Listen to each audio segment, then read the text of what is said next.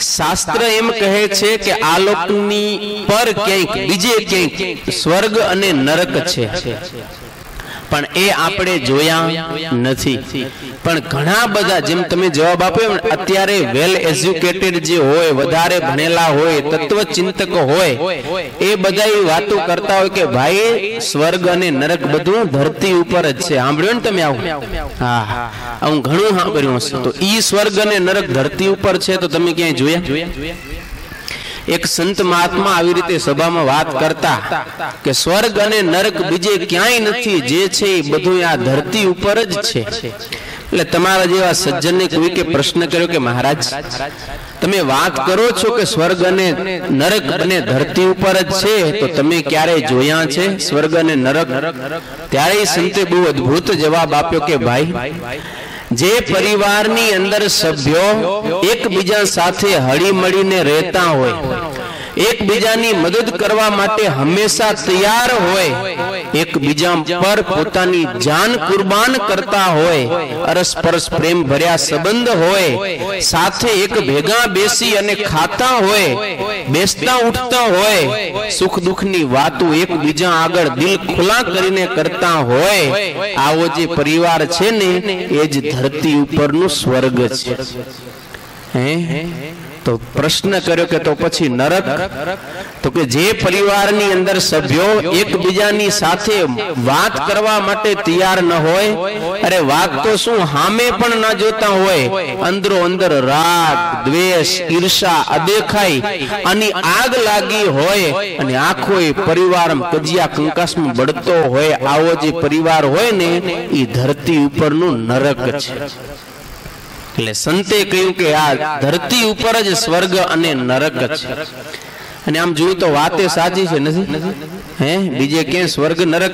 કદાચ આ લોકથી પર હશે, ત્યાં તો જ્યારે જાય ત્યારે વાત. પણ અત્યારે જીવતે જીવતા આપણે સ્વર્ગમાં છીએ કે નરકમાં છીએ એ આજે વિચારવાનું છે. આમ તમે બધા કેશો મને જવાબ દેશો? જે આપણે સ્વર્ગ અને નરકની વ્યાખ્યા કરી, કરીને હવે તમે સ્વર્ગની અંદર જીવો એવા કેટલા હાથ ઊંચો કરો તો કે અમે સ્વર્ગની અંદર મોજ માણી એવા, કારણ કે નરકમાં તો હાથ ઊંચો નહીં કરો, મને ખબર હે. અમે સ્વર્ગની અંદર છીએ એવા કેટલા? ઓ, બાકી બધા ક્યાં છો એ મને ખબર હો. હા, હાથ તમે કોઈ ઊંચો નથી કરતા. તો ભક્તો, આજે જેવી સંતે એકને સ્વર્ગની વ્યાખ્યા આપી એવા આપણા પરિવાર હવે રહ્યા નથી. પણ જે નરકની વ્યાખ્યા કરી, એમાં ક્યાંક આપણા પરિવારના છેડા અડતા હોય એવું લાગે એટલે હાથ ઊંચો કરવામાં સંકોચ થાય છે. બરોબર ને બાબા? આજે ઘર ઘરને વિશે કજિયા કંકાસ રાગ દ્વેષ ઈર્ષા અદેખાઈ આવું બધું આવી ગયું. એટલે ઘરની અંદર હવે સ્વર્ગ જેવું સુખ માણસને મળતું નથી. પણ ભક્તો તમે વિચાર કરો. આપણો આ ભારત દેશ ભારતીય સંસ્કૃતિ એને સમસ્ત વિશ્વને વસુધૈવ કુટુંબકમની એક ભાવના આપી છે. વસુધૈવ કુટુંબકમ એટલે આખું વિશ્વ છે ને એક કુટુંબ છે એક પરિવાર છે. આવી એક ભારતના ઋષિ મુનિઓએ આપણી હિન્દુ સંસ્કૃતિએ આખા દુનિયાને એ સંદેશો આપ્યો. પણ આજે આખું વિશ્વ તો એક પરિવાર ન બની શક્યું. પણ આખા વિશ્વની અંદર એટલું બધું વૈશ્વીકરણ વધ્યું કે એને કારણે વિશ્વ તો વેર વિખેર થઈ ગયું. પણ આપણા પરિવાર છે ને એ વેર વિખેર થઈ ગયા. આખું વિશ્વ આજે બજાર બની ગયું છે.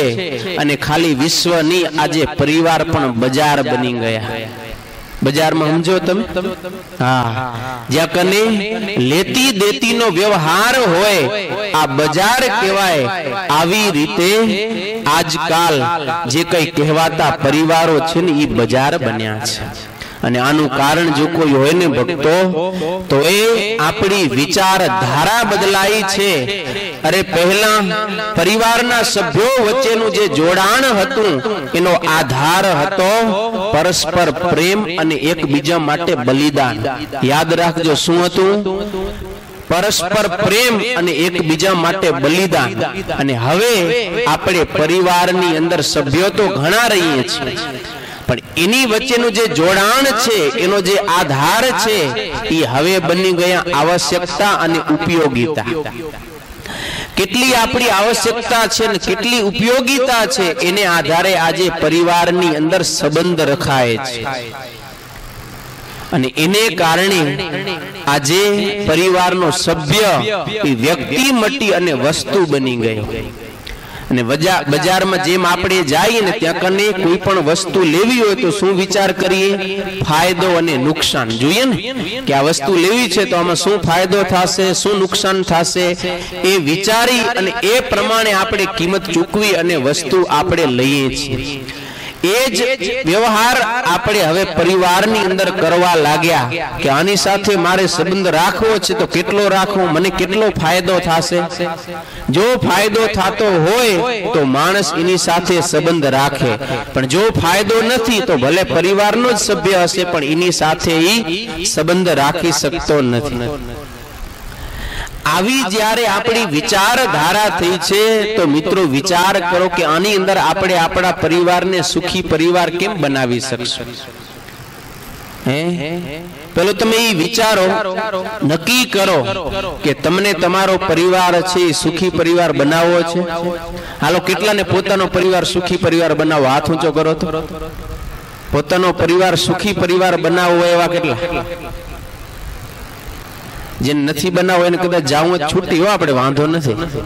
હા, જેને સુખી પરિવાર બનાવવો હોય, એના માટે આ સ્પેશિયલ સેશન છે.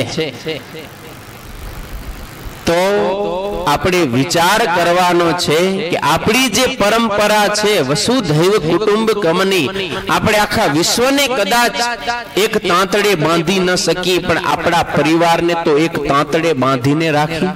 એની અંદર આપણે પ્રેમ રાખી, એ પરિવારને આપણે સ્વર્ગની સમાન સુખી બનાવી.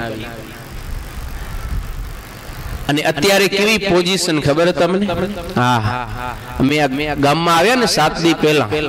તો આવતા હતા સંતો બધું આમ જોતા હતા ગામને. તે વડીલ સંતો વાત કરતા હતા કે આજથી વીસ પચીસ વર્ષ પહેલા જયારે ગામડા ફરવા આવ્યા ને, ત્યારે આવા મોટા મોટા મકાન નતા. કેવા હતા?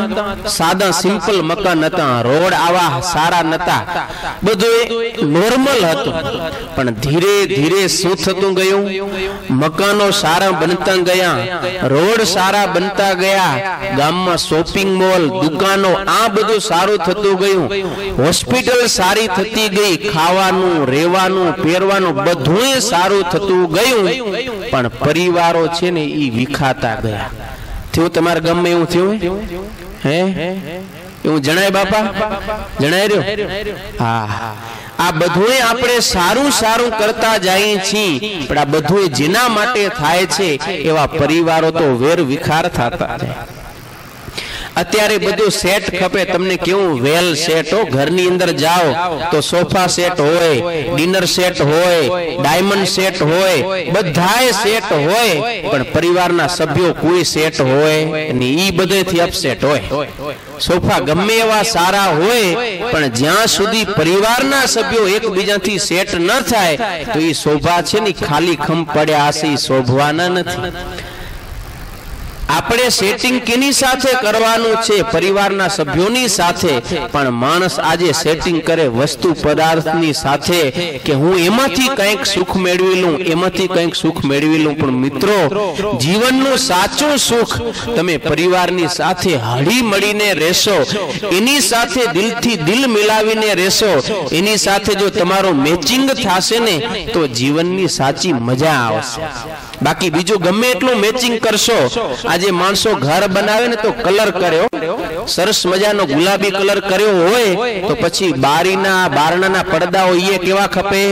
ગુલાબી ખપે મેચિંગ પછી ઘરમાં બેડરૂમ રાખે, એનો અંદર ગાડલું હોય, એનો ઓછાડ હોય ઉસીકા હોય, એના કવર હોય આ બધા કેવા ખપે? મેચિંગ પછી કપડા પહેર્યો પેન્ટ શર્ટ, બૂટ, મોજા ટાઈ બેલ્ટ રૂમાલ ગોગલ્સ આ બધું ભાઈ સાહેબની કેવું ખપે? મેચિંગ બેનનું એવું જોયું, ગમે એ સાડી પહેરે, પછી હેરબીન લગાવે ઇયરિંગ પહેરે, નેકલેસ પહેરે, બ્રેસલેટ પહેરે. આ બિંદી ઘર ચાંદલો લગાવે. ચાંદલો એની સાડી સાથે મેચિંગ થવો પડે. તો એ બેનને મજા આવે, નહીતર મજા આવે નહીં. બધું એ સેટિંગ કરી કરી, કરીને મેચિંગ કરે, પણ પૂછા કરે કે ઘરના પરિવારની સાથે તમારું મન કેટલું મેચ છે? તો એ કાંઈ મેચ થતું હોય નહીં નહીં. તો આ મેચિંગમાં શું ફાયદો? હે? અત્યારે જે તરફ આપણે જઈ રહ્યા છીએ, મિત્રો, વિચાર કરજો કે આપણે એક ચાંદલામાંથી સુખની આશા રાખી એક બ્લુ કલરના પડદામાંથી આપણે સુખની આશા રાખી છીએ.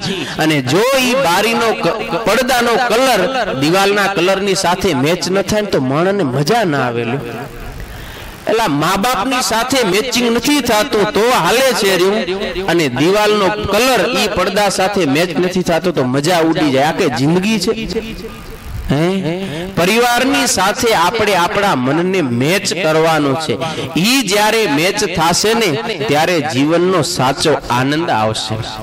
અને આજે કઈ મેચિંગ નથી, પણ છતાં એક છત નીચે તમે રહ્યો છો ને પરિવારના સભ્યો, એ અરસપરસ પ્રેમથી નથી રહેતા. એકબીજાને નિભાવી રહ્યા છો, અરે માત્ર નિભાવી નહીં, ઝીલી રહ્યા છો, અરે સહન કરી રહ્યા છો. સાચું ખોટું? હા, પરિવારના સભ્યોને તમે ઝીલી રહ્યા છો, સહન કરી રહ્યા છો.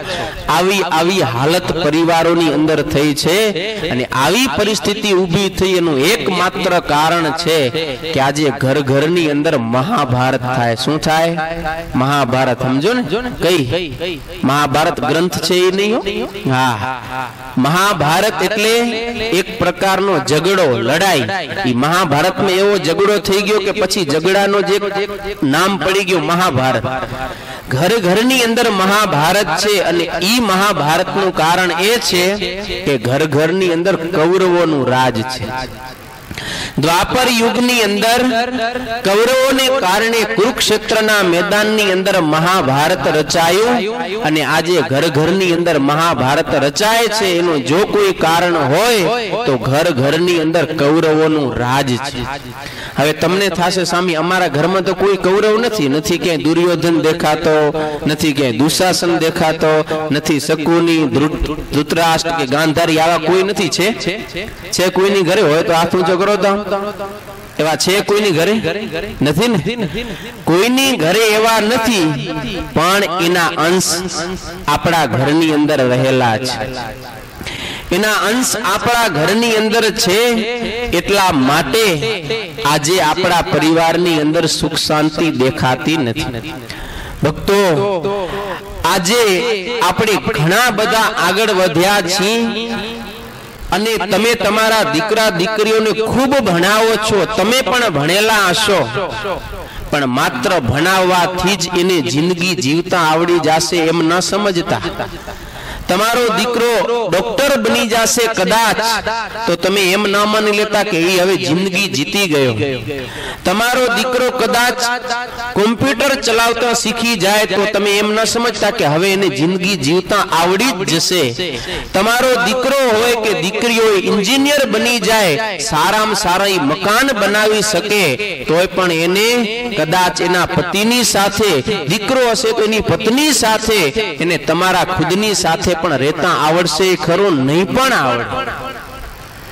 આજે સાયન્સ બહુ આગળ વધ્યો છે. આપણે બધાને ખૂબ પ્રગતિ કરી, એટલી બધી પ્રગતિ કરી કે આજે આપણે આકાશની અંદર પક્ષીની જેમ પ્લેન દ્વારા ઉડતા શીખી ગયા. આજે આપણે માછલીની જેમ પાણીમાં તરતા શીખી ગયા. આ બધું ભલે આવડી ગયું, પણ ભક્તો યાદ રાખજો કે જ્યાં સુધી મને અને તમને ધરતી ઉપર પરિવારની સાથે હળી મળીને રહેતા નહીં આવડે ને ત્યાં સુધી કાંઈ આવડ્યું નથી એમ સમજી લેજો. પણ આપણી બધાની દ્રષ્ટિ અત્યારે ઉપર પહોંચી ગઈ કે અમે કેમ આકાશમાં ઉડીએ, કેમ નીચે પાણીમાં તરીએ, પણ માણસ બની અને પરિવારની સાથે હળી મળીને રહેવાની એ કોઈ વાત હવે નથી. મેન પાયો ઈ છે, જ્યાં સુધી એ રિપેર નહીં થાય, ત્યાં સુધી પરિવારમાં સુખ શાંતિ આવવાની નથી. એટલે એ શીખવાનું છે. પરિવારની અંદર કૌરવોનો અંશ આવી જાય ક્યાં કને ખબર તમને? હા. મહાભારતના ઘણા બધા પાત્રો છે, પણ એમાંથી છ એવા મુખ્ય પાત્ર છે કે જેને કારણે કુરુક્ષેત્રના મેદાનની અંદર મહાભારતનું યુદ્ધ થયું.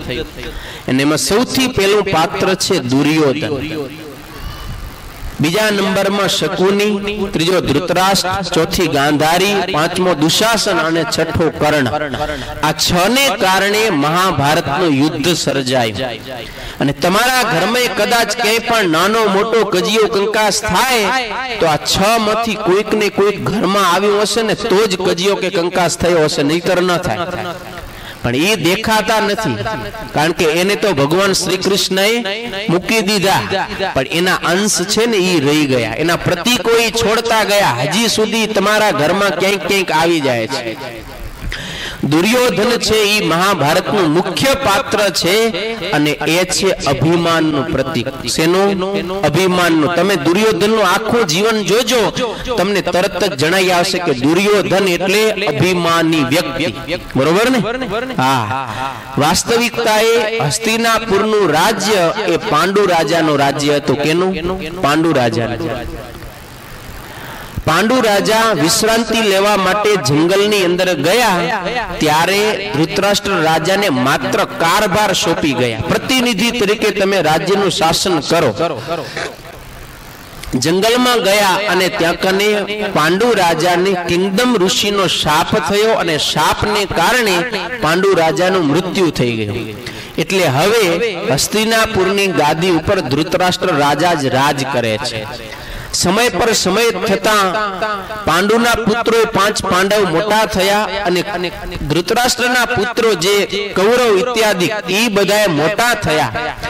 અને જ્યારે હસ્તિનાપુરની ગાદી માટે યુવરાજ આપવાની વાત આવી, ત્યારે સમસ્ત પ્રજાજનો, દ્રોણાચાર્ય, કૃપાચાર્ય, પિતામહ, ભીષ્મ, વિદુર સૌ કોઈએ કહ્યું કે આ ગાદી પાંડુ રાજાની છે અને એ ન્યાયે પાંડુના મોટા પુત્ર યુધિષ્ઠિર રાજા એ યુવરાજ બની શકે અને પ્રજાજનો પણ માત્ર ને માત્ર યુધિષ્ઠિરને ચાહતા હતા. દુર્યોધનને કોઈ ચાહતું નતું પણ દુર્યોધને કીધું કે ના, આ ગાદી ઉપર તો હું જ બેસીશ અને હું જ યુવરાજ થાઈશ.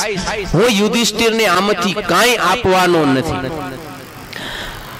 અને જ્યારે એ બેનો એક ન થયો, ત્યારે કોઈ પણ રીતે માન્યો જ નહીં. અને એ વખતે દુર્યોધનના અભિમાનને કારણે વર્ષોથી જે એક બંધ, એક સામ્રાજ્ય આવી રહ્યું છે, એનું એક ઝાટકે બે ભાગમાં વિભાજન થઈ ગયું અને હસ્તિનાપુરમાંથી ઇન્દ્રપ્રસ્થ અલગ થયું. હસ્તિનાપુરનો યુવરાજ બન્યો છે દુર્યોધન અને ઇન્દ્રપ્રસ્થનો યુવરાજ બન્યો યુધિષ્ઠિર. મહારાજા. કેમ? તમે વિચાર કરો કે એક તાંતણે બંધાયેલો પરિવાર આજે કુરુ વંશથી એની ઈ પરંપરા હાલી આવે છે આજ દિવસ સુધી ઈ પરિવારમાં ક્યારે ઝઘડો નથી થયો અને એક ઝાટકે આખું સામ્રાજ્ય વિભાજન થઈ ગયો માત્ર ને માત્ર દુર્યોધનના અભિમાનને કારણે. કેટલું અભિમાન દુર્યોધનનું? કે જ્યારે પાંડવો વનવાસ કરીને આવ્યા અને એક ગામડા, એક જમીનની માંગણી કરીને તોય દુર્યોધને કીધું કે, હું દુર્યોધન, એક સોયની અણી માત્ર પણ આ પાંડવોને જમીન આપીશ નહીં. જો એને જમીન જોઈતી હોય, તો આવે રણભૂમિમાં યુદ્ધ કરે અને જીતીને જેટલી જોઈએ એટલી જમીન લઈ જાય. બાકી હું દુર્યોધન, એને લેશ માત્ર પણ જમીન નહીં આપું. આ એક હું અભિમાન જે હતું ને દુર્યોધનનું એને કારણે કુરુક્ષેત્રના મેદાનમાં એક બાપના દીકરાઓ સામે સામે કપાઈને મરી ગયા. મહાભારત રચાઈ ગયું. તો આ એક અભિમાન છે ને એ દુર્યોધનનો અંશ છે. ઈ જો આવી ગયો ઘરની અંદર, તો સમજી લેજો કે તમારા ઘરમાં પણ મહાભારત થવાની શક્યતા પૂરેપૂરી છે. અને વધારે કોઈ પરિવારનો સભ્ય હું હું પોતા પણ હાકવા જાય તો હાલે ખરું? તમે પોતે કલ્પના કરો. અને ક્યારેક તમે બહુ હાકવા ગયા હશો તો વીતીએ હશે તમારા ઉપર. અને તમે નહીં તો બીજા કોઈ સભ્ય હાકી હશે તો પરિવાર ઉપર વીતી હશે. માટે બહુ પરિવારમાં પોતાનું હું પણ હલાવવું નહીં, કારણ કે પરિવાર એક ઘણા બધા સભ્યનો એક પરિવાર છે. સૌ કોઈ એની અંદર રહે છે, ક્યારેક આપણું ધારું થાય તોય રાજી રહેવું, ક્યારેક આપણું ધારું ન થાય ને તોય રાજી રહેવું. ક્યારેક જેમ આપણું ધારું થયું, એમ ભાઈનું ધાર્યું થાય મા બાપનું ધાર્યું થાય, ક્યારેક પત્નીનું ધાર્યું થાય, ક્યારેક દીકરા, દીકરી, બેનનું ધાર્યું પણ પરિવારમાં થાય, કારણ કે હું જેમ પરિવારનો સભ્ય છું ને, એમ એ પણ બધાય પરિવારના સભ્ય છે માટે દર વખતે હું જ મારું હાંકવા જાઉં, તો ઈ વાત પરિવારમાં ચાલે નહીં અને એવું કરવા જાય તો આપણા પરિવારની અંદર ચોક્કસ મહાભારત સર્જાય. બહુ માણસો અભિમાની હોય કેવા? એક ગોર બાપા આમ બજારમાં ચાલ્યા જતા હતા. સામેથી એક પટેલ આવ્યા. પટેલે પૂછા કરી, ક્યાં ગયા હતા ગોરબાપા? તો કે, બસ ક્યાંય નહીં, તમારી ઘરે જ ગયો તો એ કે. કઈ કામ હતું? તો કે બીજું તો કઈ કામ નતું જરીક છાસ લેવી છાસ લેવા માટે ગયો તો. તો કેમ છાસ મળી? તો કે ના, તમારા ઘરના ના પાડી છાસ મળી નહીં. એટલે પટેલ કે, હાલો હાલો કે, મારા ભેગી કે, ના પાડી દે, એમ થોડું હાલે કે પટેલ ગોર બાપાને આમ ગામ અધવચ્ચે સુધી પહોંચી ગયા હતા. પાછા લઈ આવ્યો અડધો કિલોમીટર પાછા. અને દરવાજે આવીને કીધું કે એ સાંભળે છે? તો અંદરથી જવાબ આપ્યો, શું? તો કે આ ગોર બાપા છાસ લેવા આવ્યા, તેને છાસ ના આપી? તો કે તમને ખબર છે કાલ હાજે વેહે દોવા દીધું હતું નહીં. એટલે દૂધ નતું એટલે દહીં નથી જમાવ્યું. દહીં નથી, એટલે છાસ નથી, એટલે મેં ગોર બાપાને ના પાડી કે છાસ નથી. પટેલ કે, આ ઘર મારું, હું તને પરણીને લઈ આવ્યો, ના પાડું તોય હું ના પાડું. કે જાઓ ગોર બાપા છાસ નથી, તમે હાલ્યા જાઓ. તો હું કરવા ના પાડે? સમજ્યા તમે ના પાડું તો હું ના પાડું ગોર બાપાને એક કિલોમીટર નો ધક્કો ખવડાવ્યો શેના માટે? ખાલી હું ના પાડું એના માટે. તે ઘરવાળી ના પાડી દે તોય ના લે તમને. આવા માણસો હોય ઘણી વખત હું કરું હું કરું. ગામમાં કઈ મોટો ફંક્શન થાય તોય હું કરું. મંદિરમાં કઈ કર્યું હોય તો હું કરું. પરિવારમાં હતો અમે હતા એટલે થયું. હું ના હતો, જોઈ લે શું કરી લેવાના હતા તમે એમ. આ જે એક ઈગો છે, ઈ ગમે એ પરિવાર હોય, આપણા ઘરનો પરિવાર હોય, મંદિરમાં સત્સંગનો પરિવાર હોય, સમાજ છે એ પણ એક મોટો પરિવાર છે. એમાં કોઈને પણ નાના મોટાને જો આવો ઈગો આવી ગયો, અભિમાન આવી ગયું, હું પણ આવી ગયું ને, તો ચોક્કસપણે પરિવારની અંદર મહાભારતનું સર્જન થશે. માટે આ અહંકાર છે ને એ મનનો મૂકી દેવો. જો પરિવારમાં તમને સુખ શાંતિ જોઈતી હોય, એક સુખી પરિવાર બનાવવા ઈચ્છતા હો, તો તમારા મનનું અભિમાન છે ને એને મૂકી દેવાનું. દુર્યોધનનો ક્યારે પ્રવેશ આપણી અંદર થઈ જાવો જોઈએ નહીં. જ્યારે જ્યારે અભિમાન આવે, ત્યારે સમજી લેવાનું કે આપણી અંદર દુર્યોધન પ્રવેશી ગયો. એ દુર્યોધન આવ્યો એટલે હવે એ મહાભારત સુધી આપણને લઈ જશે મૂકશે નહીં. એટલે આ અભિમાન રૂપી દુર્યોધનથી બચવાનું છે. ઘણી વખત વાતમાં કઈ માલ ન હોય, પણ અહંકારને કારણે ઘરમાં ઘણા બધા ઝઘડા થતા હોય. એક દરજી કપડા સીવવાનું કામ કરે. અને પેલા તમને કદાચ ખ્યાલ હશે, અત્યારે આ બધી રૂપિયાની લેવડ દેવડના વ્યવહાર થયા. વર્ષો પહેલા બધી પોતપોતાના પરિવાર, પરિવારના દરજી હોય. અને એના દુકાને ના જાવ આપણે લગ્ન કે કઈ પ્રસંગ હોય ને, દરજી પોતાના હંચાલીને ઘરે કપડા સીવા માટે આવતા. આવું હતું ને? હા. અને પછી એને મેનતાણામાં જે બાજરો કે કઈ શાક પાંદડું જે જે કઈ થયું હોય એ દેવાતું એમ. એવા સમયની અંદર કોઈ ખેડૂતે વાડીમાં રીંગણા વાવેલા સરસ મજાના રીંગણા થયા. તે ખેડૂતે ઘરમાં તો પોતે સ્થાળ કરીને જમ્યા, એની ઈચ્છાથી ચાલો ને આપણા દરજીને દઈએ એમ. તો દરજી દુકાને બેઠો તો લઈ આવ્યા પટેલને રીંગણા દીધા અને દરજીને રીંગણા બહુ ભાવે. તે દરજી તો રાજી રાજી થઈ ગયો. વાત મૂકી દો એવો રાજી થઈ ગયો. હાજે આવ્યો, એની ઘરવાળીને દીધું કે આવતીકાલે બપોરે રીંગણાનું શાક કરજે કે હું બપોરે કે જમવા માટે આવીશ, આમ બપોરે ના આવતો, હાજે આવતો. પણ કે તું બપોરે કરજે, આવતીકાલે બપોરે હું હાજે જમવા માટે, આ બપોરે જમવા આવીશ, ગરમા ગરમ રીંગણાનું શાક. ભલે. હવે આ તો બીજે દિવસે ગયો દુકાને, એની ઘરવાળીએ જોયું તો રીંગણાય હતા. હવે બે ત્રણ દિના ભીંડાએ પડ્યા હતા. એની ઘરવાળીએ વિચાર કર્યો કે જો આ આજે રીંગણાનું શાક કરીશ તો કાલે તો ભીંડા કામ આવે એવા રહેશે નહીં. આજે ભીંડાનું શાક કરું, કાલે રીંગણાનું શાક કરીશ એમ. એટલે એણે ભીંડાનું શાક કર્યું અને આ બાજુ તો હવારથી આમ દરજી મનમાં સંકલ્પ કર્યો લુગણા સિવાય આ આજે તો રીંગણાનું શાક ખાશું હે. ઓહો. આમ બહુ સંકલ્પ કર્યા અને બપોરથી ને ફટોફટ દુકાન બંધ કરીને આવ્યો ઘરે. અને મોજથી હજી તો મનમાં રીંગણા જ દેખાય રહ્યા. પાટલો રાખ્યો, ઘરવાળીએ થારી પીરસી અને જેવો શાક પીરસ્યો ને રીંગણાને બદલે ભીંડા હો. અને મનમાં જેટલા સંકલ્પ હતા ને મરી ગયા બધા. અને કેવા લાગ્યો કે હું તને કહી ગયો તો કે તું રીંગણાનું શાક કરજે, અક્કલ વિનાની આ ભીંડાનો ભરતો કરીને બેઠી તું આવીને આમ ને તેમ ને જેમ તેમ તાળું કયો અને ઊને પણ તળી ગઈ ધાડ ધાડ અને આ તો થારીને એમને એમ ધક્કો મારીને ચાલ્યો ગયો દુકાને. અને પત્નીને થયું કે અમે આટ આટલું કરીએ મેં શું ખોટું કર્યું? મેં આજે રીંગણાનું શાક ન કર્યું ભીંડાનું શાક કર્યું એમાં શું મારો સ્વાર્થ હતો? આપણા પરિવારમાં ઘરમાં બે પૈસા બચે એ માટે મેં કર્યો. અને એમાં આટલું બધું આટલું અભિમાન. અને ઘરવાળીનો મગજ ટાઈટ હતો ચડી ગયો ને બાજુમાં કૂવો હતો કૂવામાં જઈને પડી. મોત થયું અને પોલીસની તપાસ થઈ અને ખબર પડી કે આ એના પતિને કારણે મરી એટલે આ દરજીભાઈને બાર વર્ષની જેલ થઈ. કેટલા વર્ષની? બાર વર્ષની જેલ થઈ.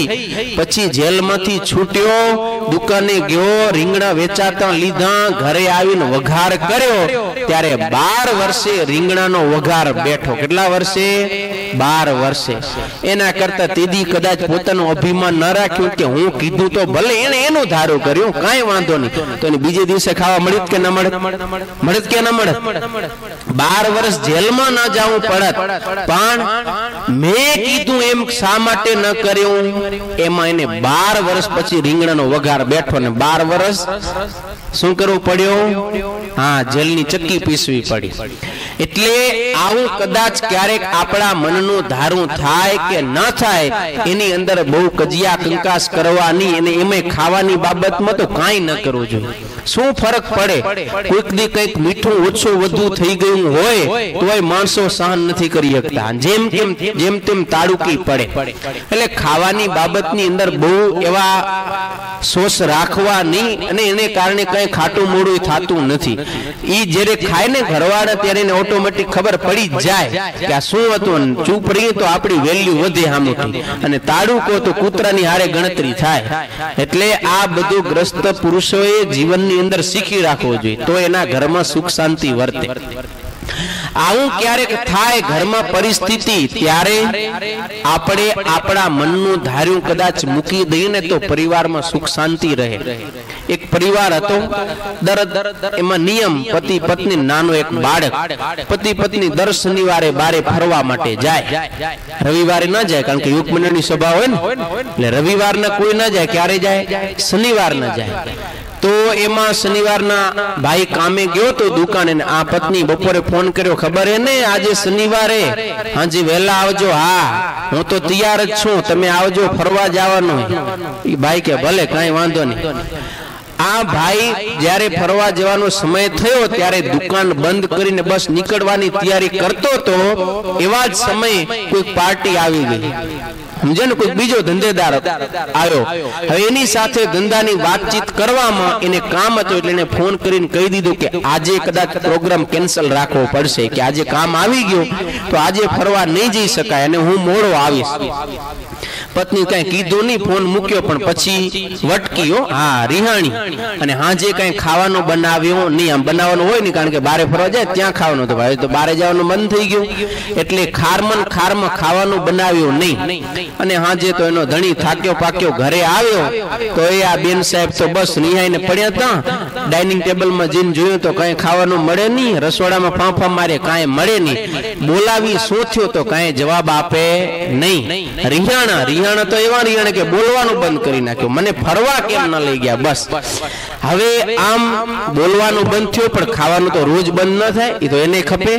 હા, એટલે બીજે દિવસે ખાવાનું ચાલુ થઈ ગયું, પણ બોલવાનું તોય બંધ. એમ થોડાક દી હાલ્યું.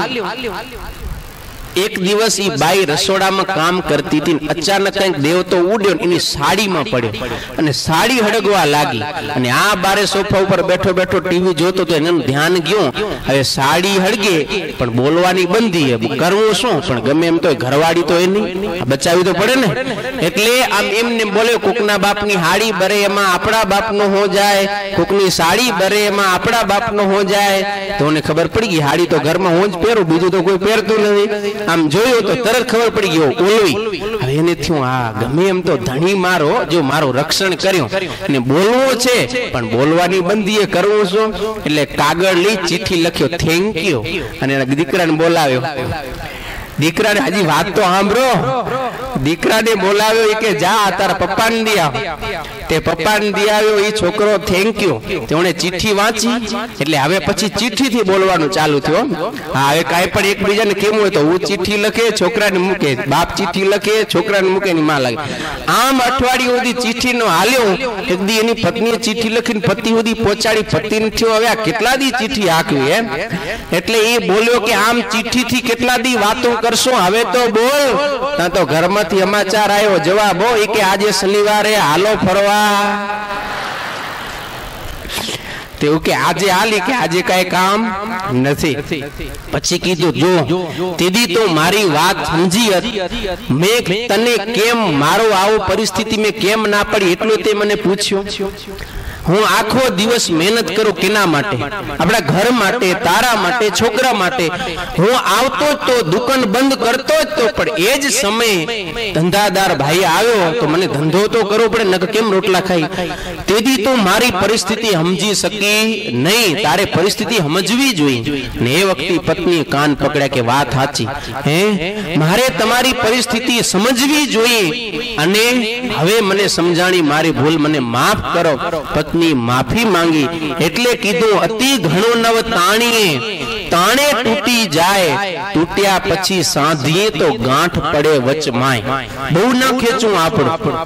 બહુ જો ખેંચવા જઈ, ગમે વસ્તુ બહુ ખેંચાય એટલે તૂટી જ જાય અને એક વખત તૂટે ને પછી દુનિયામાં કોઈ પણ વસ્તુ, આજે બધાયનું જોડાણ થાય છે. લોખંડ હોય તો વેલ્ડિંગ થાય, કપડું હોય તો સિવાય, બધી વસ્તુ કાચ હોય તો એને ગમે કેમિકલથી ચોડાય ગમે વસ્તુ આજે જોડાણ પામે, પણ વચ્ચે તમે જોજો, હાંધો રહેશે રહેશે ને રહેશે જેવું હતું એવા ને એવું ક્યારે થવાનું નથી.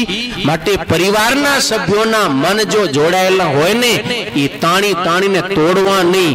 એક વખત જો મિત્રો તૂટી ગયા ને, પછી તમે ગમે એવું વેલ્ડિંગ કરશો, ગમે એવી સિલાઈ કરશો, ગમે એવું કેમિકલ લગાવશો ને, તોય પણ એમાં હાંધો રહી જશે. માટે આવી કઈ પરિસ્થિતિ થાય ને ત્યારે શું કરવાનું? આંટી કાઢે અક્કલથી ને ઘૂંચ પડે ના મુંજાય તાણીને તોડે નહીં તે ઘર સુખી થાય. કઈ પણ આમ ગૂંચવણ થાય ને તો અક્કલ વાપરવી મૂકી ના દેવી. આ જેમ મૂકી હતી ને ઘરવાળી હા એ હાલ્યો કેમ નહીં મને લઈને શનિવારે ફરવા બસ. ઓની પરિસ્થિતિ સમજવી જોઈએ. દર શનિવારે લઈ જતો તો એક શનિવારે કદાચ ન લઈ આવ્યો તો એમાં શું ખાટું મોડું થઈ ગયું? આ એક એકબીજાની પરિસ્થિતિ એ પરિવારના સભ્યો જો સમજે ને તો પરિવાર સુખી પરિવાર થાય. તો આ મનનો જે મૂકવો છે ને એ સૌથી અગત્યની વાત છે. ને જુઓ, મારા દાદા ગુરુ પૂજ્ય બાલકૃષ્ણ સ્વામી વિરાજમાન છે. એ વારંવાર પરિવારને સુખી કરવાના ચાર પાયા બતાવે. કયા? મોટા એ તો ખમીને રેવું, નાના એ તો નામી લેવું. મનનું મૂકીને એકબીજા માટે સૌ સભ્યો ઘસાય તે ઘર સુખી પરિવાર થાય. શું કરવાનું? મોટાએ ખમી જવાનું. મોટાએ ખમવું નાના એ નમવું. બધાએ સભ્યોએ મનનું મૂકી અને એકબીજા માટે ઘસાવું. આ ચાર પાયા જો તમારા પરિવારની અંદર પડ્યા હોય, તો ગેરંટી સાથે તમારા ઘરની અંદર ક્યારે પણ મહાભારત સર્જાય નહીં. પણ આપણે શું થાય? મનનું મૂકી શકાતું નથી. તમે ભણતા હશો ત્યારે એક વાર્તા આવતી હશે કે એક નનકડી નદી હતી. નદી ઉપર પુલ હતો. પુલે બિલકુલ નનકડો. એક માણસ માંડ નીકળી શકે. એક વખત બંને બાજુથી કૂતરા ચડ્યા. જમણી બાજુ વાળાને ડાબી બાજુ જવું તો ડાબી બાજુ વાળાને જમણી બાજુ જવું તો બંને બાજુથી કૂતરા ચડ્યા, હાલતા હાલતા બરોબર વચ્ચે પહોંચ્યા. અને એક કૂતરો કે હા, મારે ઊભા જ જાઉં. કે, મારે ઊભા જ જાઉં હે, એમને એમ નથી આવ્યો. કે, આમ બે કે, હું જાઉં. કે, હું હું હું જઈશ. એમ કરતા કરતા હું હું કરતા કરતા બે ડાખિયા કૂચ્યા બાજ્યા. એવા બાખડ્યા એવા બાખડ્યા કે લડી લડીને બે પડ્યા પુલથી નીચે શેમાં? નદીમાં. જાય તણાતા, વયા ગયા, પૂરું થઈ ગયું. થોડીક વારથી બંને બાજુથી બકરી ચડ્યો. એ હાલતી હાલતી બરોબર વચ્ચે આવી. વચ્ચે આવીને એક બકરી કે ઓ બેન, ક્યાં જવું છે? એ કે મને હામે પાર જાઉં. ઓ, મને હામે પાર જાઉં. તો મને મદદ કરીશ? કે, હા શું કરીશ? એ કે, એમ કર, હું બેસી જાઉં. તું મારા ઉપરથી ને ચાલી જા. તું ચાલી જાય, પછી હું ઊભી થઈને હાલી જઈશ. કે એ બહુ ધજ હોય કે. એમ કહીને એક બકરી બેઠી, બીજી એને ટપીને હાલી ગઈ. પછી બેઠી હતી એ ઊભી થઈને હાલી ગઈ. બે ને જ્યાં જાઉં તો પોતપોતાના ઠેકાણે પહોંચી ગઈ. પણ ડાઘિયા કૂતરા પહોંચ્યા. પહોંચ્યા? ના પહોંચ્યા. કેમ? નમાતું નથી. સમજ્યા તમે? શું થાય પરિવારમાં? નમાતું નથી. હું હું કરવા નીચું જોખું? હું એ માણસ હું એ સિંહ છું? હા. એમ કઈ અમે નીચું ના જોખી. પણ મિત્રો, તમને પરિવાર બચાવો છે કે તમારો ઈગો બચાવો? શું બચાવો? નક્કી કરો. જો તમને તમારો પરિવાર બચાવવો હોય, તો તમારા અભિમાનને તમે મૂકી દેજો. અભિમાનને બચાવતા નહીં. જો અભિમાન બચાવશો ને, તો તમારે પરિવાર ખોવો પડશે, આ યાદ રાખજો. પણ જો પરિવાર બચાવવો હોય ને, તો ઈગો, અહંકાર, અભિમાન રૂપ જે દુર્યોધન ને એને સાઈડમાં મૂકી દેવાનું, એની જરૂર નથી. ઈ આવશે તો ચોક્કસ નુકસાન થશે. મહાભારતનું બીજું પાત્ર છે શકુની. અને શકુની શેનું પ્રતીક છે? તમને બધાને ખબર હશે. શેનો? અરે, બોલો, શેનું પ્રતીક એ? કપટ શું? કપટ. અને જ્યાં અભિમાન આવે ને, ત્યાં કપટ ઓટોમેટિક આવે. કેમ કે અભિમાનીને પોતાનું ધાર્યું કરવા ખપે. હવે જ્યારે પોતાનું ધાર્યું ના થાય, સૌની સંમતિથી ત્યારે એ શેનો આશ્રય લે? કપટ કરે. કપટ દ્વારા પણ અભિમાની પોતાનું કાર્ય સિદ્ધ કરે. દુર્યોધનને હસ્તિનાપુરના રાજા તરીકે કોઈ સ્વીકારવા તૈયાર હતું નહીં. અને કોઈ રીતે યુદ્ધ કરીને પણ ઈ જીતીને હસ્તિનાપુરનો રાજા બની શકે એમ નતો. એટલે હવે એને શું કરવું પડ્યું? કપટી શકુનીનો આશ્રય લેવો પડ્યો. અને શકુનીનો આશ્રય લઈ અને એણે યુદ્ધ કર્યું છે. દ્યુતની અંદર, દ્યુત છે દ્યુત છે જુગાર, એ પણ એક યુદ્ધ છે. એણે યુદ્ધ કર્યું, જુગાર રમ્યો અને કપટ દ્વારા યુધિષ્ઠિર ઇત્યાદિ પાંડવોને હરાવી અને એને વનની અંદર મૂકી દીધા. અને એને કારણે પરિવારની અંદર વિખવાદ થયો. એટલે શકુની રૂપ કપટ એ પણ આપણા પરિવારની અંદર ક્યારે આવવું જોઈએ નહીં. કપટ સમજો ને, પરિવારમાં એકબીજાથી છુપાઈને આડું ઉરું કરવું ઈ. ઈ જેદી કપટ પાધરું થાય ને, તેદી પરિવારમાં વેર વિખેર થાય. હા. તમને નામ ઠામ નહીં દઉં પણ એક જોઈન્ટ ફેમિલી હતું સંયુક્ત પરિવાર. બે ભાઈનો પરિવાર સાથે રહેતો હતો ધંધાએ સાથે. એની અંદર એક ભાઈ છે એ બધું માર્કેટિંગ કરે ને એક ભાઈ છે એ ધંધો સંભાળે. પણ જે માર્ગ ધંધો સંભાળતો હતો ને, એને જરીક એવી ટેવ પડી ગઈ હતી. એના ભાઈથી કપટ કરી કરી, કરીને થોડા રૂપિયા પોતાના અવગો કરતો આવે હમણાંથી. એને એમ કે ખબર ભવિષ્યમાં તો અલગ થવાનું છે. હમણાંથી કપટ કરી, કરીને રૂપિયા થોડા થોડા પોતાના અવગા કરતો આવે. વર્ષે, બે વર્ષે હિસાબ બધા તપાસ કર્યા ને કર્યો, તે કર્યો. મોટા ભાઈને ખબર પડી ગઈ કે ભાઈ કંઈક આડોરું છે. અને કપટ તો ગમે એવું હોય ને એ પાદરું થાય થાય ને થાય. નાના ભાઈનું કપટ પાદરું થયું એટલે પછી નાના ભાઈ કીધું કે હવે આપણે ભેગો રહી શકાશે નહીં. અને બંને ભાઈના પરિવાર સંયુક્ત હતા, પણ વિખાઈ ગયા. સંબંધ બગડી ગયો કેમ? એક માત્ર કપટ કર્યું. તો પરિવારની અંદર પરસ્પર સભ્યો વચ્ચે કપટ ન ખપે. મહાભારતનું ત્રીજું પાત્ર છે ધૃતરાષ્ટ્ર. અને ધૃતરાષ્ટ્ર છે એ મોહનું પ્રતીક છે. શેનું? મોહનું પ્રતીક. ધૃતરાષ્ટ્ર છે એ બાહ્ય દ્રષ્ટિથી તો આંધળો જ છે. પણ આંતરચક્ષુ કહેવાય ને, અંતરચક્ષુ, એના દ્વારા પણ આંધળો છે. કેમ? તો કે એના ઉપર એને મોહની પટ્ટી લગાવી દીધી. હવે ધૃતરાષ્ટ્ર પોતે યોગ્ય નતો હસ્તિનાપુરનો રાજા થવા માટે. કારણ કે જ્યારે પાંડુને ધૃતરાષ્ટ્ર, વિદુર ઇત્યાદિકનો જન્મ થયો, એના પહેલા તો વર્ષો સુધી અસ્તિનાપુરની ગાદી ખાલી હતી. કોઈ રાજા જ નતો રાજમાતા હલાવતા હતા. જ્યારે રાજા કરવાની વાત આવી, ત્યારે પ્રસ્તાવ મુકાયો કે રાજાનો જે મોટો પુત્ર હોય, એ રાજગાદી ઉપર બેસે તો મોટા ધૃતરાષ્ટ્ર હતા. તો એની વાત ચાલી મંત્રી મંડળમાં એ વખતે વિદુર ઊભા થયા અને વિદુરે કીધું કે જે આંખે કરીને અંધ હોય એ રાજા થવા યોગ્ય નથી, માટે રાજા ન બની શકે. એટલે અયોગ્યતા હોવાને કારણે એ રાજા બની શક્યો નહીં. પણ છતાં એને શેનો મોહ હતો? રાજગાદીનો. રાજા બનવાનો એને બહુ મોહ હતો. એટલે એને બધી પ્રકારના પ્રયત્ન કર્યા. અયોગ્ય હોવા છતાં પણ રાજા થવાનો. આ એક મોહ છે. એમ આપણે પરિવારની અંદર એક કોઈ પણ પ્રકારનું પદ હોય, કોઈ પણ પ્રકારનું કામ હોય, એને યોગ્ય ન હોય, છતાંય પણ આપણે મોહને વસીભૂત બનીને મોહ રાખી કે આ પદ તો મને ખપે, આ ધંધો તો મને મળવો જોઈએ. એ પ્રકારનો મોહ જો આપણે રાખી તો પરિવારની અંદર નુકસાન થાય. એક ઈ, બીજો, ધૃતરાષ્ટ્રનો મોહ ક્યાં સુધી પહોંચ્યો કે પોતે તો રાજા ન બન્યો? પછી શું એને આશા સેવી કે હવે મારા દીકરાને હું રાજા બનાવ બનાવું. દુર્યોધનની અંદર કોઈ એવી યોગ્યતા ન હતી કે એ રાજા બની શકે, પણ તોય ધૃતરાષ્ટ્રએ પકડી રાખ્યું કે રાજા તો દુર્યોધન જ બનશે. કારણ કે પોતે રાજા ન બની શક્યો, એટલે હવે પોતાના દીકરાને રાજા બનાવીને ઈ ઈચ્છા કરે છે કે ઈ રાજા બને. અને પરિવારમાં પણ ઘણી વખત એવું થતું થતું હોય કે બાપને કંઈક બનવું હોય, ડૉક્ટર, અને પોતે અસફળ થયો હોય તો પછી આશા રાખે કે હવે મારા દીકરાને હું ડૉક્ટર બનાવું.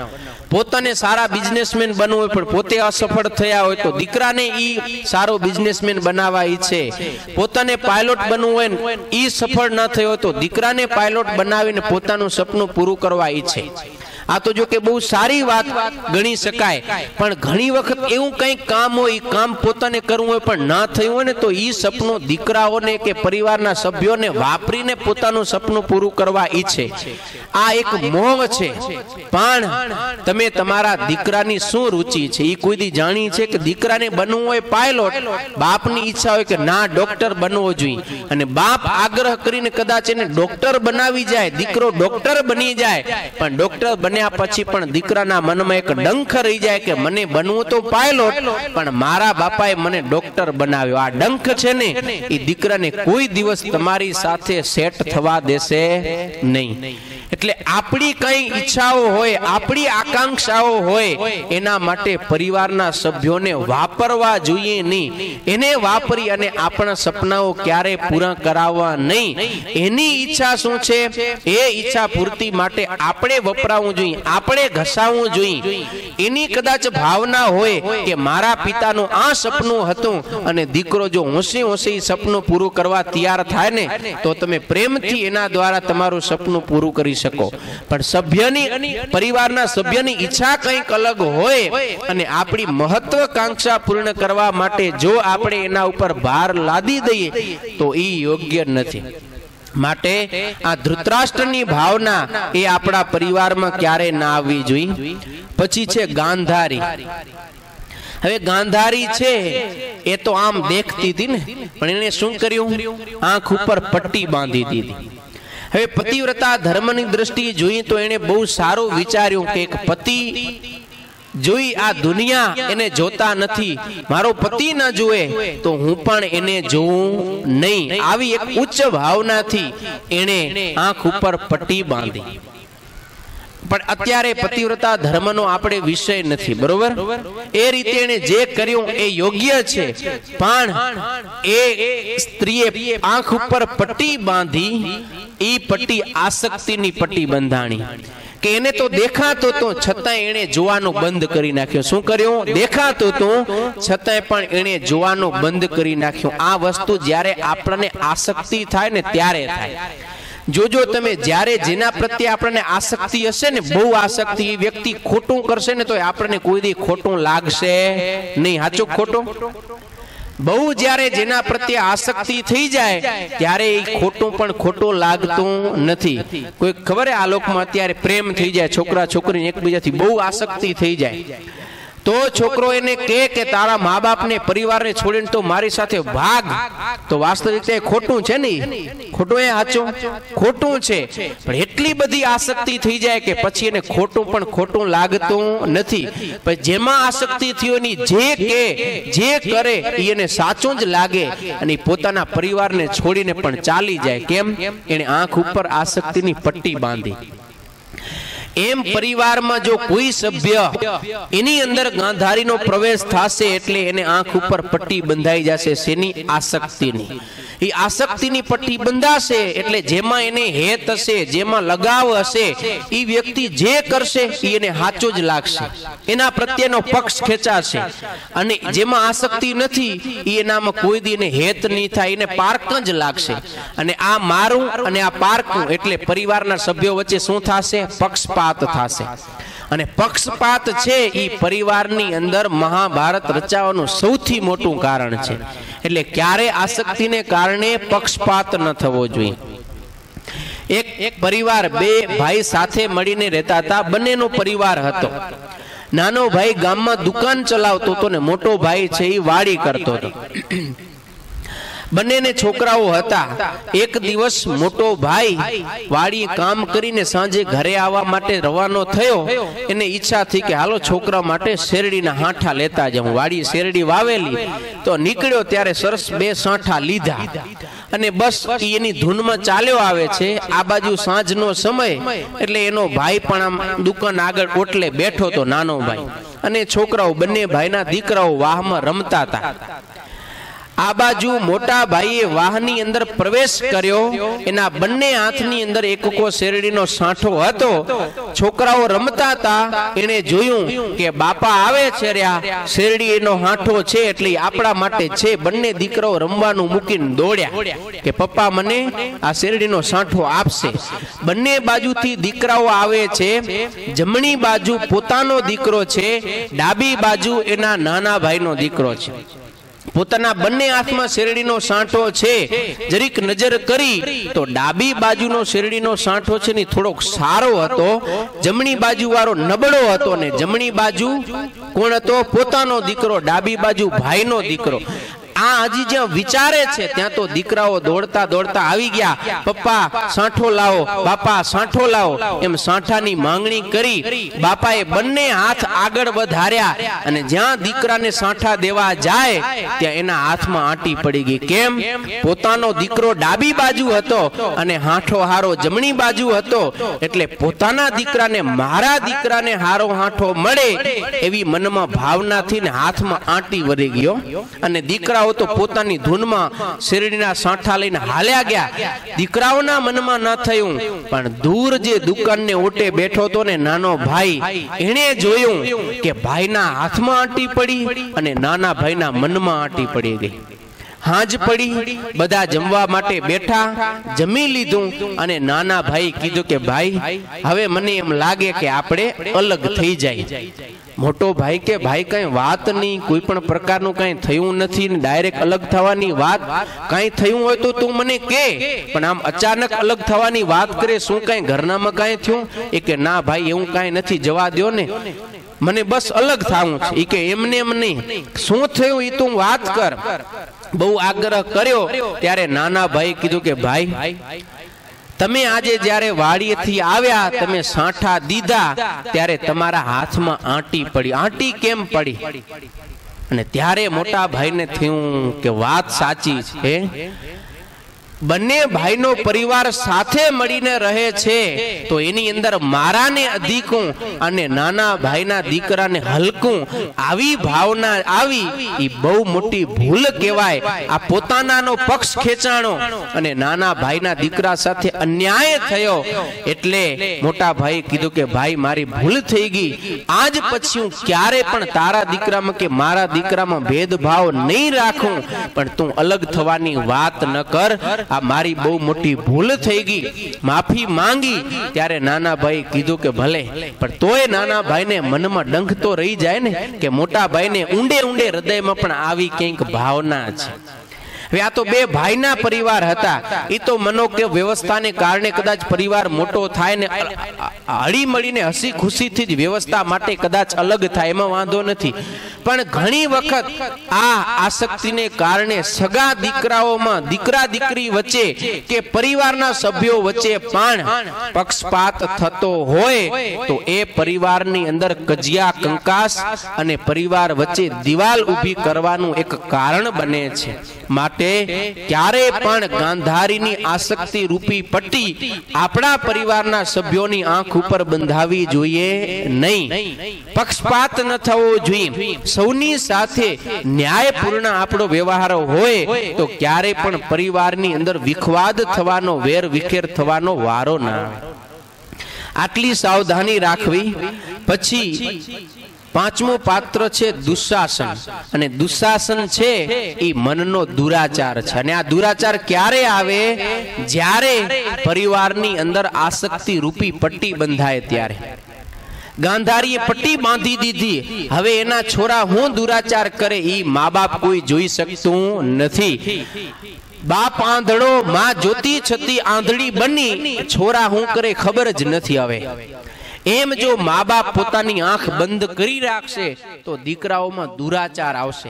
અને કેટલી હદ સુધી દુરાચાર આવશે કે દુશાસન ભરી સભાની અંદર પોતાની ભાભીના એક કુળવધુના વસ્ત્રાહરણ કરવાનો દુરાચાર કરે છે. આટલો બધો મનનો દુરાચાર વધ્યો કેમ? તો કે મા બાપે આંખ ઉપર પટ્ટી બાંધી આસક્તિની કે દીકરા દીકરાઓનું ધ્યાન રાખી શક્યા નથી. જો પરિવાર તમને સંયુક્ત રાખવો હશે, સુખી પરિવાર બનાવવો હશે, તો તમારે જાગ્રત રહેવું પડશે. તમારા દીકરા, દીકરીઓની અંદર આવો ભૂંડો દુરાચાર ના આવી જાય એ તમને જાળવવું પડશે. જો આંખ બંધ કરીને તમારા જ ધંધામાં મંડ્યા હશો, તો દીકરા, દીકરીઓમાં દુરાચાર આવશે.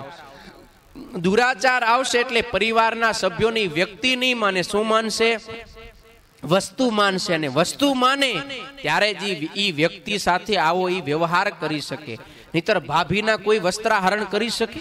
છે તાકાત કોઈ નહીં પણ દુશાસનના મનમાંથી દ્રૌપદી વ્યક્તિ મટીને એક વસ્તુ પદાર્થ બની ગઈ. એટલા માટે એણે આવું ભૂંડું કર્મ કર્યો, દુરાચાર કર્યો. તો આવું આપણા પરિવારમાં ક્યાંય ન બને કે કોઈ વ્યક્તિને આપણે વ્યક્તિ મટાડી વસ્તુ બનાવીને એની સાથે વ્યવહાર કરવા મંડી જાય. આવો દુરાચાર થશે તો પણ પરિવારની અંદર ચોક્કસ મહાભારત રચાશે. માટે ખાસ સાવધાન રહેજો કે પરિવારની અંદર ક્યાંય આવો ખોટો દુરાચાર ન થાય. તો મહાભારતનો છઠ્ઠું પાત્ર છે કર્ણ. અને કર્ણ છે એ બહુ મહત્વપૂર્ણ છે. કેવો છે? મહત્વપૂર્ણ હા. કર્ણ સામાન્ય નતો, બહુ સુરવીર યોદ્ધો હતો, સમજુ હતો, જ્ઞાની હતો છતાંય પણ એ દુર્યોધનને પડખે ઊભો હતો. એને કઈ પ્રેમ નતો. શું હતો? મજબૂરી હતી. શું હતી એની? મજબૂરી. કર્ણ છે ને મજબૂરીનો પ્રતીક છે કે એ પોતે પ્રેમથી પરિવાર સાથે નતો, મિત્રતાને કારણે નતો, પણ એક ઉપકારના બોજા નીચે એ દબાઈને, મજબૂરીને કારણે એ દુર્યોધનનો સાથ આપતો હતો. એમાં પરિવારની અંદર પણ આપણે રહીએ છીએ. જો આમ માત્ર મજબૂરીને કારણે રહેતા હશો ને, તો પરિવારમાં સુખ શાંતિ નહીં આવે. રહેવું જ છે પરિવારમાં, તો પ્રેમથી હળી મળીને રહ્યો, સંપી સરતીને રહ્યો, એકબીજા માટે આમ તમે જાન કુરબાન કરવા તૈયાર હો એવી રીતે રહ્યો. પણ આમ કોકના ઉપકાર નીચે દબાઈને રહેવાનું નથી. ઉપકાર છે. પણ એ ઉપકારને આપણે પ્રેમથી નિભાવી, એમ પ્રેમપૂર્વક આપણે પરિવારની અંદર રહેવાનો મજબૂરીને કારણે જો પરિવારમાં રહેવાશે, તો મજબૂરીને કારણે ગમે ત્યારે પરિવારની અંદર વાક વિવાદ થશે.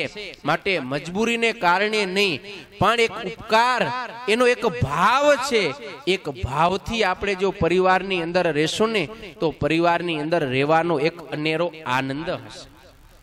આ છ છે કે જેને કારણે મહાભારત રચાયું હતું. હવે તમને વિચારવાનું છે કે મારા પરિવારની અંદર પણ આ છ માંથી કોઈ આવી નથી જાતો ને? અભિમાન રૂપ દુર્યોધન નથી આવતો ને? ક્યારેક કપટ રૂપી શકુની તો નથી આવી જાતો? કોઈ મોહરૂપી ધૃતરાષ્ટ્ર કે આસક્તિ રૂપી ગાંધારી કે પછી દુરાચાર રૂપી દુશાસન અને મજબૂરી રૂપી કર્ણ આ અમારા પરિવારમાં નથી આવતો ને જો આ આવશે, તો ચોક્કસપણે પરિવારમાં વહેલું મોડું મહાભારત રચાશે.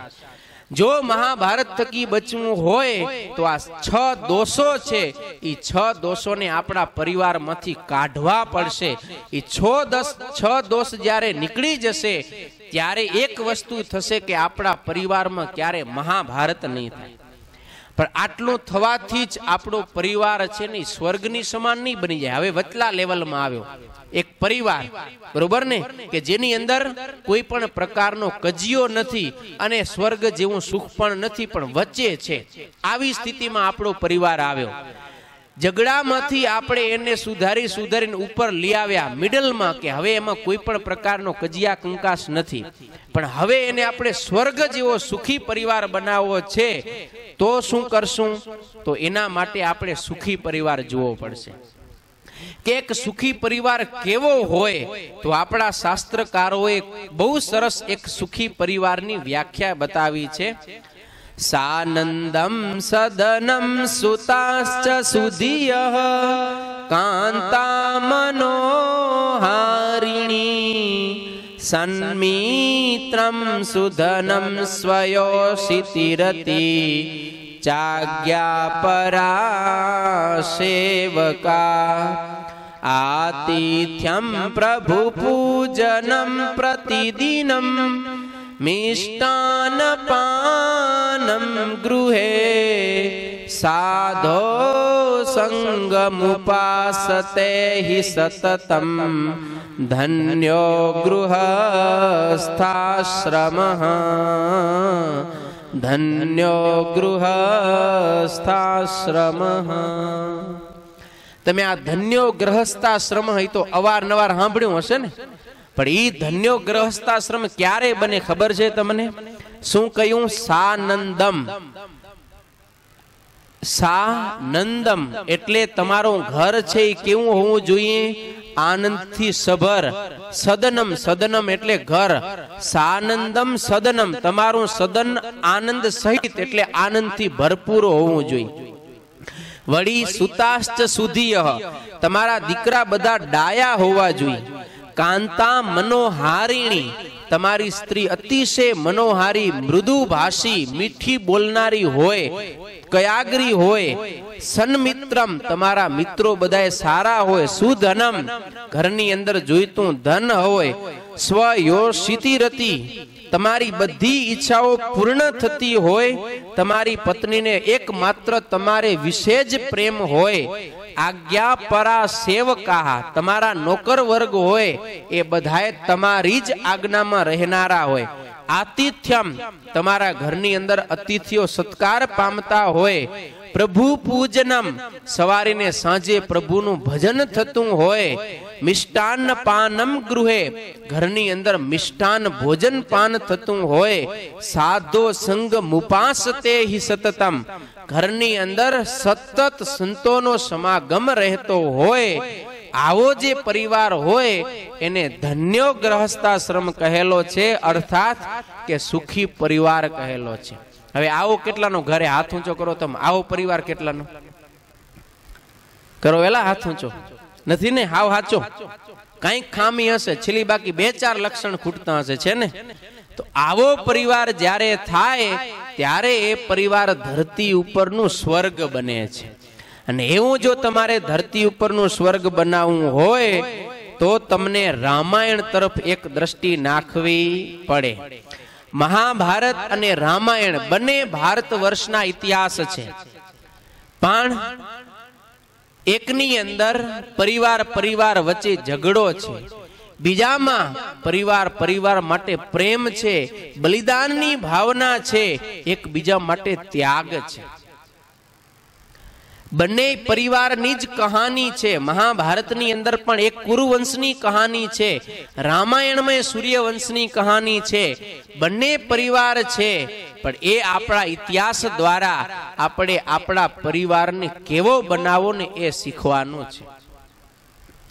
મહાભારત થતું અટકાવવું હોય, તો એ સમજ આપણને મહાભારત ગ્રંથ આપશે. અને જો આપણા પરિવારને સ્વર્ગની સમાન સુખી પરિવાર બનાવવો હોય, તો એ આપણને રામાયણ શીખાડશે. અને એના માટે દશરથ મહારાજાના પરિવાર સામે આપણે એક દ્રષ્ટિ કરવી જોઈએ કે એ દશરથ મહારાજાનો પરિવાર કેવો હતો? કે એક પુત્ર પોતાના પિતાને કેટલા હદ સુધી પ્રેમ કરી શકે, કેટલો એને આદર આપી શકે, એ જો આપણે શીખવું હોય ને તો એ રામાયણ શીખાડે. એક ભાઈ પોતાના ભાઈને કઈ હદ સુધી મદદ કરી શકે, એક ભાઈ પોતાના ભાઈ માટે કેટલો ત્યાગ કરી શકે, એક પત્ની પોતાના પતિને કેટલું સમર્પણ કરી શકે, આ આપણને આપણી રામાયણ શીખાડે છે. પણ આપણે એના તરફ કોઈ દી દ્રષ્ટિપાત કરતા નથી. પણ છાપા ને ટીવી ને મોબાઈલ ને વોટ્સઅપ ને ફેસબુક ને આમાંથી જ આપણે નવરા થતા નથી. અને પછી આશા રાખી કે અમારો પરિવાર સુખી પરિવાર બને. એ ડખો પરિવાર થાય, પણ સુખી પરિવાર થાય નહીં. કારણ કે આપણે પડ્યા શેમાં છીએ, ડખામાં. એમાંથી ક્યારે ઈ સમજ નહીં આવે કે આપણો પરિવાર સુખી પરિવાર ક્યારે બને. માટે આ રામાયણ શાસ્ત્ર થકી આપણે શીખવાનું છે. પ્રભુ રામ, એનું જીવન આપણે જોઈએ તો પ્રભુ રામને અયોધ્યાની રાજગાદી મળવાની હતી અને ચપટી વારની અંદર આખું પ્રોગ્રામ બદલી ગયો અને અયોધ્યાના બદલે એને ચૌદ વર્ષનો વનવાસ મળ્યો. પણ પિતાનું વચન હતું ને એટલા માટે પ્રભુ રામ હોશે હોશે રાજી થઈ અને ચૌદ વર્ષ વનમાં જવા માટે તૈયાર થઈ ગયા. નહીતર તમે આમ વિચારો ને, તો રામ દશરથના મોટા પુત્રો હતા એટલે એને જન્મસિદ્ધ અધિકાર હતો અયોધ્યાની રાજગાદી ઉપર બેસવાનો. તો પ્રભુ રામે વિરોધ નથી કર્યો કે હું વનમાં નહીં જાઉં, મને તો આ રાજગાદી જ ખપશે. એમ નહીં. પણ મારા પિતાનું વચન છે મારે આ રાજગાદી ન જોઈ પિતાનું વચન પાડવા માટે હું ચૌદ વર્ષ વનમાં જઈશ. હોંશે હોંશે તૈયાર થઈ ગયા. લક્ષ્મણજી આવ્યા. એને કીધું કે, હાલો, આપણે યુદ્ધ કરીએ. દશરથ સમજે હું એના મનમાં ભૂકા બોલાવી દઈ. પણ દશરથે લક્ષ્મણને વાર્યા છે. કે પિતા ગમે એવો હોય, ગમે એવી પરિસ્થિતિમાં હોય ને તો એ દીકરા કે દીકરી માટે બાપ એ હંમેશા બાપ છે. અને બાપનું વચન છે ને એ દીકરાએ કોઈ દી ઉલ્લંઘવું ના જોઈએ. માટે મને વનવાસ થયો, હું વનમાં જવા માટે તૈયાર છું. પ્રજાને ખબર પડી. પ્રજાએ કીધું કે તમે વિદ્રોહ કરો રાજની સામે. અમે તમને સાથ આપશું કે તમે અયોધ્યાની તખત ઉપર અમને ખપો. અને રામ જો ધારતને તો ઝૂંટવીને પણ અયોધ્યાનું રાજ લઈ શકત. પણ પ્રભુ રામે વિરોધ નથી કર્યો. અને હોંશે હોંશે વનમાં જવા માટે તૈયાર થયા. અને જતા જતા કહ્યું કે પુત્રએ ક્યારે એવું કામ ન કરવું જોઈએ કે જેથી કરીને પિતાની કીર્તિને કલંક લાગે. એ પુત્ર એ પુત્ર નથી અપિતુ, કપુત્ર છે કે જેણે પોતાની પિતાની ઉજ્જવળ કીર્તિને કલંક લગાવ્યો. અને પ્રભુ રામ મજબૂર બનીને નહીં, સ્વેચ્છાથી હોંશે હોંશે પિતાનું એક વચન પાડવા માટે ચૌદ વર્ષ વનમાં ચાલ્યા ગયા. મિત્રો, વિચાર કરો, જે પુત્રને પિતાના એક વચનનો આટલો આદર છે એ પુત્રને એના પિતાનો કેટલો આદર હશે? હે? ને આજના રામની આપણે વાતું કરી, તો એ કેટલો આદર આપે પિતાના વચનને?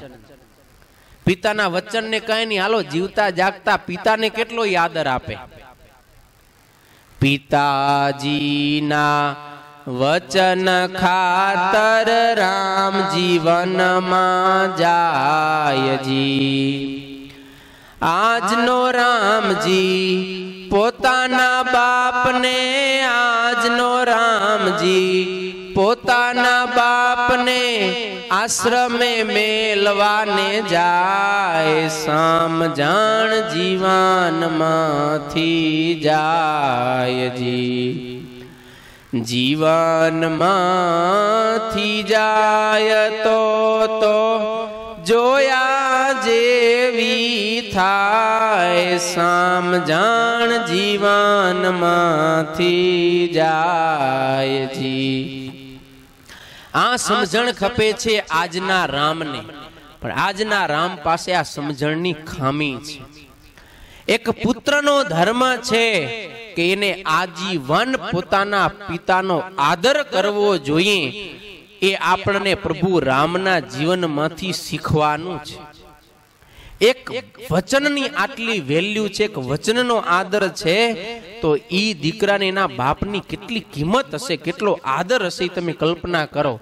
અને હવે તમે બધાએ દીકરા છો ને મા બાપના દીકરા છો, કોઈ ધરતી ઉપરનો જણ બચો એવો ન હોય કે જે કોઈકનો દીકરો ન હોય. તમે ખુદને આમ કમ્પેર કરો એ રામની સાથે કે એને જેવો એના મા બાપનો આદર ભાવ હતો, મને કેટલો છે મંતરને પૂછા કરો તો. છે એટલો રામ જેટલો ભાવ? હે? એ ભાવ, એ સમજણ આપણે કેળવવા માટે ભેગા થયા છે એના માટે આવા પ્રોગ્રામ છે. એના માટે યજમાનો ખર્ચા કરીને આવી કથા પારાયણ અને રાત્રિ સભાઓનો આયોજન કરે છે કે ઈ સમજણ આપણામાં આવે. ઈ સમજણ લઈ આવવાની છે. અને જો દીકરા આવા કયાગરા હોય ને, તો એને મા બાપના બહુ રૂડા આશીર્વાદ મળે છે. મા બાપનું અંતર રાજી થતું હોય એ હોંશે હોંશે બે ચાર જાણા આગળ કહેતા હોય કે અમારા દીકરા બહુ ડાયા છે.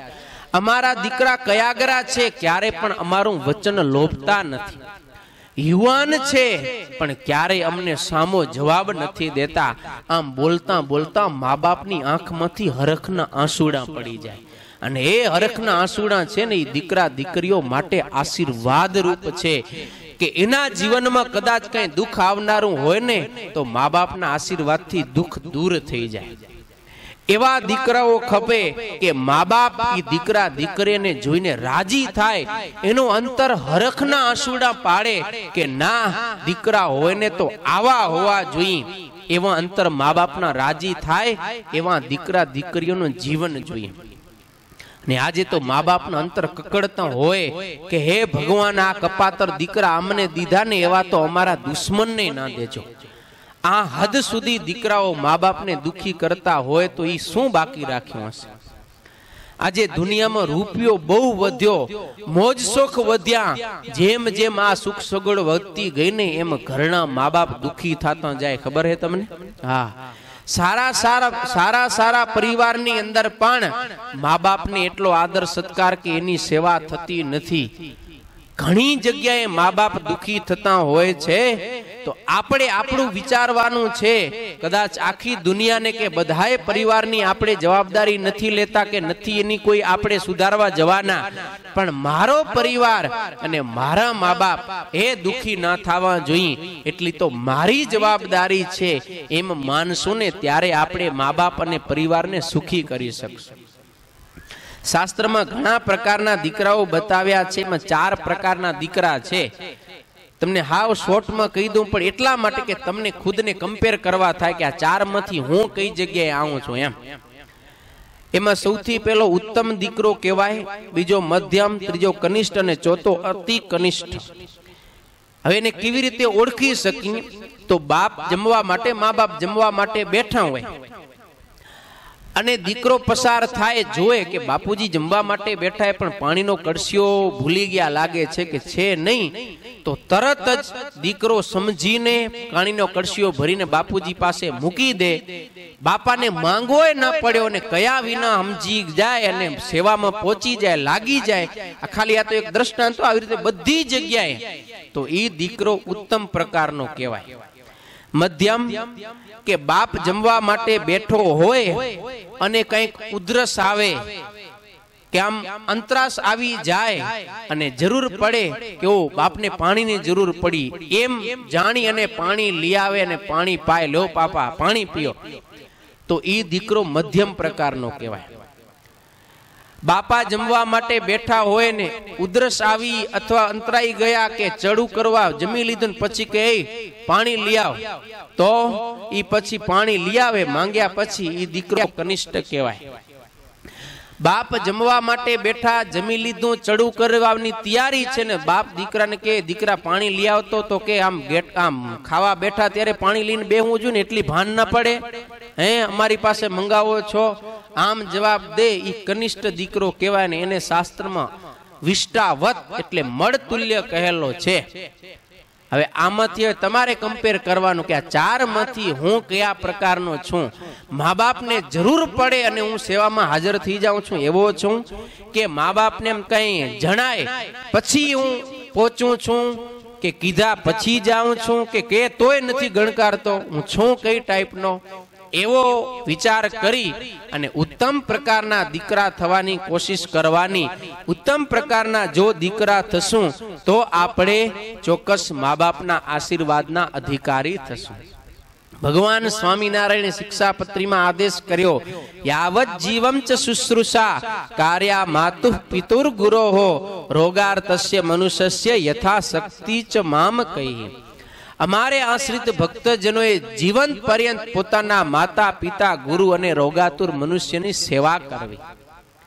તો બસ ભગવાન શ્રી હરિનો આ આદેશ એનું આપણે અનુસંધાન રાખવાનું છે કે આપણા મા બાપ છે એ ક્યારે દુખી થવા જોઈએ નહીં અને મહારાજે પોતે પણ મા બાપની સેવા કરવા માટે પોતાની યાત્રા ત્રણ વર્ષ સુધી સ્થગિત કરી નાખી હતી. યજ્ઞોપવિત સંસ્કાર થયા. મહારાજને તો ઘર છોડીને જંગલમાં ચાલ્યો જવું તો અનેક મુમુક્ષુ જીવોત્માઓના ઉદ્ધાર કરવા માટે. પણ મા બાપની સેવાની જ્યારે વાત આવીને ત્યારે ભગવાન સ્વામિનારાયણ ત્રણ વર્ષ માટે અટકી ગયા. મા બાપની ખૂબ સેવા કરી અને પોતાના દિવ્ય અક્ષર ધામનું સુખ આપીને પછી પોતે ઘર છોડ્યો છે. એટલે મા બાપની ચોક્કસ સેવા કરજો. યુધિષ્ઠિર રાજાને યક્ષે પ્રશ્ન કર્યો તો કે એક ઘડાથી સાત ઘડા ભરાય, પણ સાત ઘડા મળીને પણ એક ઘડાને ભરી શકે નહીં. આ શું છે? અને એ વખતે યુધિષ્ઠિર રાજાએ કહ્યું કે એક મા બાપ સાત સાત દીકરાઓને જન્મ આપી, ભણાવી, ગણાવી, પાળી, પોષી, મોટા કરે, લગ્ન કરાવી દે, કામે લગાડી દે, એના માટે બધું કરે. પણ એ સાત દીકરાઓ મળીને પણ એક મા બાપને રાજી રાખી શકતા નથી, એને સંતોષ આપી શકતા નથી, સાચવી શકતા નથી. આ દુનિયામાં બહુ મોટા મોટું આ દુઃખ છે મિત્રો. આપણે એવા દીકરા ન બની જાય. એ ખાસ સાવધાની રાખજો. આ એક પ્રભુ રામ એ પુત્રત્વનો ધર્મ શીખાડે છે. આપણે પુત્ર છીએ તો રામ પ્રભુના જીવનમાંથી આપણે શીખીએ કે કેવા પુત્ર હોય. રામાયણના આવા ઘણા બધા પાત્ર છે. લક્ષ્મણ, ભરત, સીતા, ઉર્મિલા, આ બધાએ પાત્ર મળી અને આપણા પરિવારને સુખી પરિવાર બનાવી શકે. પણ અત્યારે આપણે પ્રભુ રામનું એક પાત્ર જોયું. અત્યારે બસ, અહીં જ ભગવાનના મંગલમય નામ ઘોષની સાથે આપણે કથાને વિરામ આપશું. સંતો આવ્યા છે, તો એમના આશીર્વચનનો લાભ પણ મળશે. બોલો સહજાનંદ સ્વામી મહારાજની. શ્રી સ્વામિનારાયણ ભગવાનની શ્રી નરનારાયણ દેવની.